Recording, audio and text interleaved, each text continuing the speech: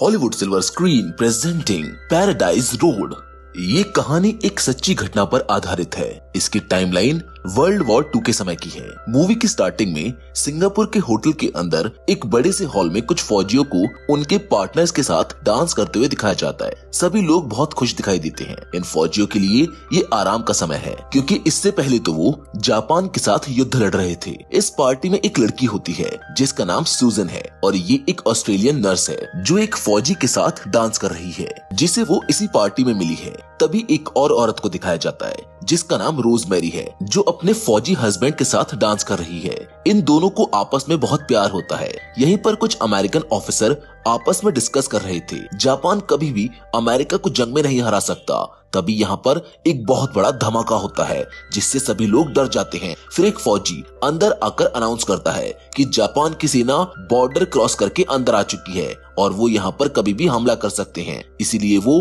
Hotel में मौजूद सभी महिलाओं को शिप पर जाने का ऑर्डर देता है। जबकि वो सभी फौजियों को यही रुकने को कहता है। फिर सभी महिलाओं को शिप पर चढ़ा दिया जाता है, जो इन्हें एक सेफ़ जगह पर ले जाएगा। यहाँ सभी फौजी अपने अपने पार्टनर्स को गुड बाय कहते हैं। अब सभी औरतों के शिप पे चढ़ने के बाद शिप स्टार्ट होती है। यहाँ पर सूजन के साथ कुछ ऑस्ट्रेलियन नर्स भी हैं, जो अपने सभी पैसेंजर्स का ध्यान रखती हैं और उनकी जरूरतों का पूरा ख्याल करती हैं। यहाँ सभी औरतों को लाइफ जैकेट दी जाती है इन लाइफ जैकेट्स को उनको युद्ध जोन से बाहर जाने तक पहनना होगा इनकी रात बहुत ही बढ़िया निकलती है, लेकिन अगली सुबह जापानीज एयरफोर्स इस शिप को घेर लेती है और इस पर अटैक कर देती है पूरे शिप पर हड़बड़ी मच जाती है अटैक के कारण बहुत सारे बच्चे और औरतें मारी जाती हैं। उनमें से कुछ महिलाएँ शिप से कूदकर लाइफ जैकेट के सहारे किनारे तक जाने की कोशिश करती हैं, लेकिन कुछ महिलाएँ जिनके पास लाइफ जैकेट नहीं होता वो भी पानी में कूद जाती हैं। जिसके बाद हम रोज मैरी को देखते हैं जो अपने हस्बैंड से बिछड़कर इस समुद्र के अंदर फंस गई है उसके साथ हम ऑस्ट्रेलियन नर्स सुजैन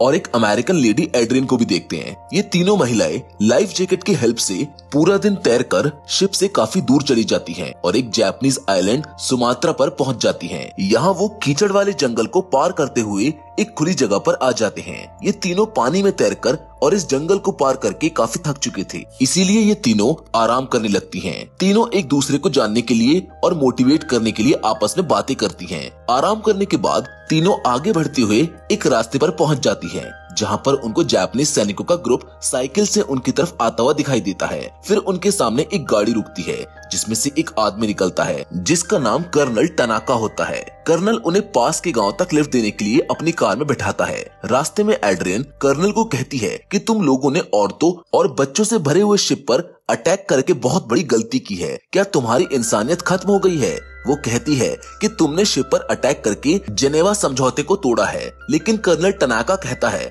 कि जापान ने कभी भी इस समझौते पर दस्तखत नहीं किए। फिर कर्नल इन तीनों को एक गाँव मिलाकर ड्रॉप कर देता है। यहाँ पर एक जापानी सैनिक बिना बात के रोजमेरी को थप्पड़ मारता है, जिसके बाद वो इन तीनों को घसीटते हुए एक जगह पर ले जाता है, जहाँ पहले से बहुत सारे लोग थे। उन्हें पता चलता है कि जो लोग शिप पर जैपनीज सैनिकों के द्वारा पकड़े गए थे, वो अभी यहाँ पर मौजूद हैं। फिर सुजैन अपनी फ्रेंड से मिलती है और सभी औरतों को ज़िंदा देखकर काफ़ी खुश हो जाती है। फिर इन सभी को एक प्रिजन कैंप में ले जाया जाता है। इस कैंप में बहुत सारे देशों के लोग कैद थे, जो कि अलग अलग कास्ट के थे, और ये देश वो थे, जो वर्ल्ड वॉर टू में जापान के खिलाफ खड़े थे। अगली सुबह इन सभी को उठाया जाता है। उन्हें एक जगह इकट्ठा होने का ऑर्डर दिया जाता है। अब इनके साथ जानवरों जैसा सलूक होने वाला है। इन्हें एक जगह इकट्ठा करके कर्नल अनाउंस करता है कि अब से तुम सभी जापान की गवर्नमेंट के कैदी हो।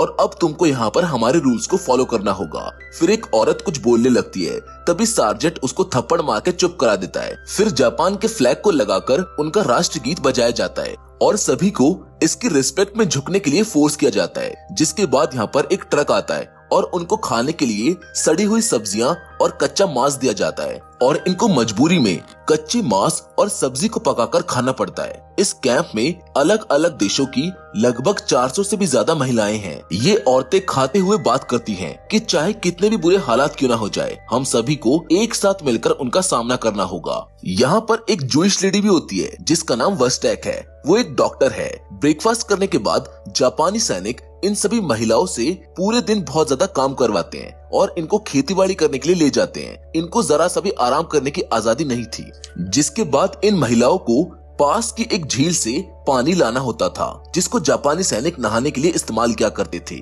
ये सैनिक महिलाओं के सामने इतनी बेशर्मी दिखाते थे कि वो उनके सामने ही नंगे हो जाते थे, जिससे इन महिलाओं को बहुत ही बुरा फील होता था। यहाँ पर एक औरत रोजमेरी को बताती है कि इस आइलैंड के दूसरी तरफ़ एक और कैंप है, जिसमें मर्दों को रखा गया है।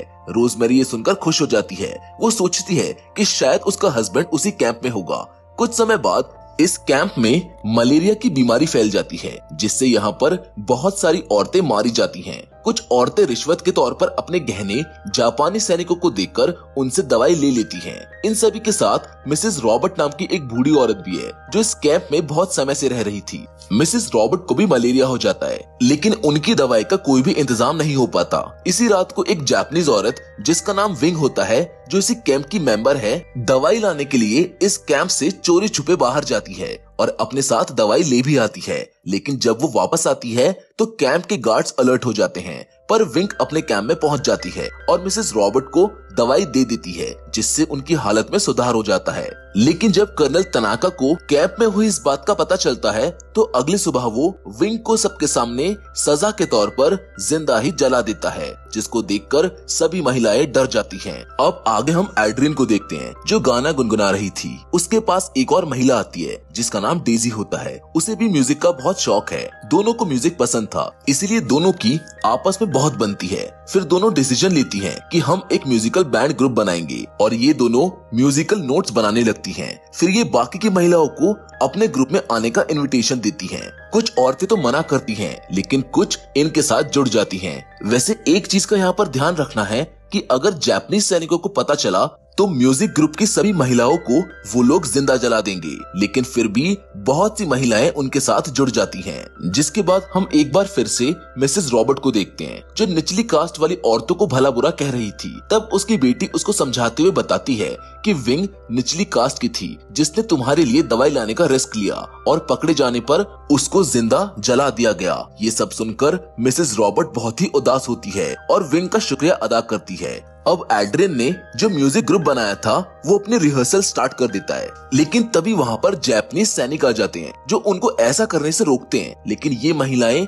यहाँ पर हार नहीं मानती और उन सैनिकों से छुपते हुए छोटे छोटे ग्रुप में अपना म्यूज़िक बनाने लगते हैं। कुछ दिनों की तैयारी के बाद ये अच्छा म्यूज़िक बना लेती हैं। अब एक दिन यहाँ पर सार्जेंट इस कैंप में आता है और डेजी को एक लिस्ट पकड़ा देता है। उस लिस्ट को पकड़ने पर उनको पता चलता है कि इसमें सभी खूबसूरत महिलाओं और लड़कियों के नाम होते हैं। फिर इन लड़कियों को ट्रक में भरकर एक बंगले पर ले जाया जाता है, जहाँ पर जैपनीज आर्मी के ऑफिशियल्स होते हैं। यहाँ पर इनके सामने एक ऑफिसर प्रपोजल देता है और कहता है कि तुम्हारे पास अच्छी ज़िंदगी जीने का एक मौका है, लेकिन तुम्हें जैपनीज ऑफिसर के मिस्ट्रेस बनकर रहना होगा। मैं आपकी जानकारी के लिए बता दूँ कि मिस्ट्रेस का मतलब नौकरानी या फिर रखेल होता है। इसका मतलब अगर ये महिलाएँ इन ऑफिसर को खुश करती हैं तो इनको अच्छा खाना अच्छे कपड़े और रहने के लिए अच्छा घर मिलेगा। कुछ महिलाएँ तो इस प्रपोजल को एक्सेप्ट कर लेती हैं, लेकिन कुछ मना कर देती हैं, क्योंकि उन्होंने किसी और को प्रॉमिस किया था।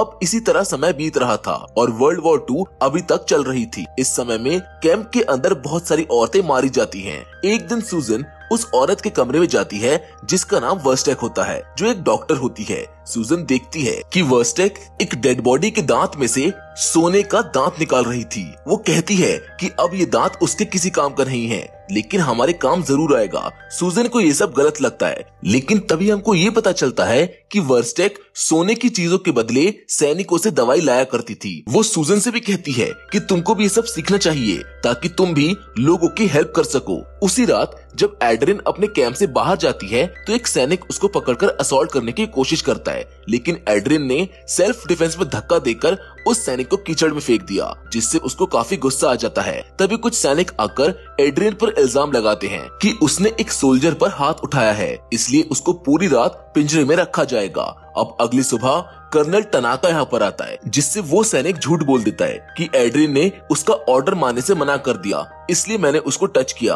अब तनाका एड्रिन के साथ बदतमीजी करते हुए उसको बुरी तरह से लाते मारता है और कहता है कि तुमने हमारे सोल्जर की डिसरिस्पेक्ट की है, जिसके बाद कुछ औरतें सीनियर ऑफिसर के पास जाकर कर्नल टनाका की शिकायत करती हैं और एड्रिन की जान की भीख मांगते हुए कहती हैं कि इसमें उसकी कोई गलती नहीं है। सारी गलती कर्नल टनाका की है, लेकिन सीनियर ऑफिसर उसकी मदद करने से मना कर देता है। तभी औरतें कहती हैं कि हमने तुमको एक रहम दिल इंसान समझा था, लेकिन तुम भी टनाका की तरह ही बेशरम हो। ये बात सुनकर वो एड्रिन को छोड़ देता है। अब उसी रात कैंप में म्यूज़िक ग्रुप का पहला शो होता है, लेकिन उनकी आवाज़ सुनकर सैनिक यहाँ पर आ जाते हैं, जो उनको गाने से रोकने की कोशिश करते हैं। पर जब सैनिक उनकी आवाज़ सुनते हैं तो वो उनके गाने की मधुर आवाज़ से रुक जाते हैं। शो खत्म होने के बाद सभी सैनिक उनके लिए तालियाँ बजाते हैं। अगली सुबह इन सभी को इकट्ठा करके एक ऑफिसर बताता है कि इस युद्ध में जापान सबसे पावरफुल है। इसीलिए ऑस्ट्रेलिया भी उनके साथ हाथ मिलाने के लिए राज़ी हो गया है। तभी भीड़ में से सुजैन धीरे धीरे कुछ कहती है, जिसे कर्नल टनाका सुन लेता है। वो सुजैन को बोलता है कि मेरे सामने आकर इसको फिर से दोहराओ, लेकिन वो ऐसा करने से मना कर देती है। इसीलिए सजा के तौर पर उसको एक मैदान में जंजीरों से बाँध दिया जाता है और चारों तरफ़ नुकीली लकड़ियाँ लगा दी जाती हैं। अगर सुजैन जरा सा भी हिलती है तो वो लकड़ियाँ उसके शरीर के आर पार हो जाएँगी। उसे यहाँ पर कड़ी धूप में कई घंटों तक रखा जाता है और पानी भी नहीं दिया जाता। 24 घंटे के बाद कर्नल वापस आता है। सुजैन अपनी जगह से टस से मस नहीं हुई थी, जिसकी हिम्मत को देखकर वो उसको छोड़ देता है। फिर रात को म्यूज़िक शो होता है, जिससे इम्प्रेस होकर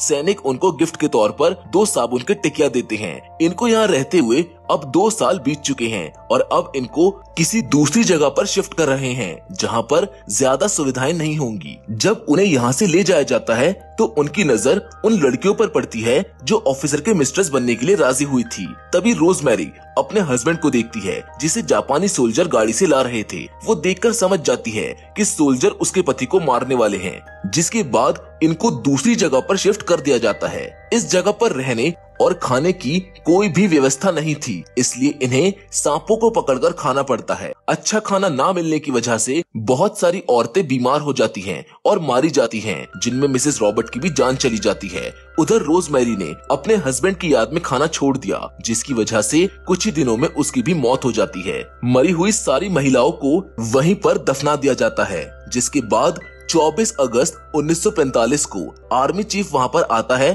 और कहता है कि जंग खत्म हो चुकी है वो इन महिलाओं के साथ हुए बुरे व्यवहार के लिए उनसे माफ़ी भी माँगता है, जिसके बाद इन सभी औरतों को आज़ाद कर दिया जाता है, जिससे ये सभी बहुत खुश होती हैं और एक दूसरे को गले लगाती हैं। इन महिलाओं के जज्बे को सलाम करना चाहिए, क्योंकि ऐसी मुश्किल की घड़ी में ये सभी एक दूसरे के लिए ढाल बनकर खड़ी रही, जिसके बाद इन सभी को सिंगापुर भेज दिया जाता है, जहाँ से ये सभी अपने अपने घर चली जाती हैं। ये मूवी तो यहाँ पर खत्म हो जाती है, लेकिन मैं ये सवाल आपसे ज़रूर पूछना चाहूँगा कि क्या इंसान को किसी दूसरे इंसान के साथ इस तरह से व्यवहार करना चाहिए? कहाँ गई हमारी मानवता? या फिर हमने मानवता की हद को पार कर दिया है? बढ़ते मॉडर्नाइजेशन और डेवलपमेंट में हम इंसानियत को भूल चुके हैं। इंसानियत का तो मतलब ही है प्रेम से रहना। वेल आपकी इस पे क्या राय है?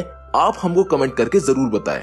क्योंकि फ़िलहाल तो आज की वीडियो में बस इतना ही। लेकिन हम फिर से ज़रूर मिलेंगे, और वो भी एक और नई इंटरेस्टिंग कहानी के साथ। पर तब तक के लिए धन्यवाद।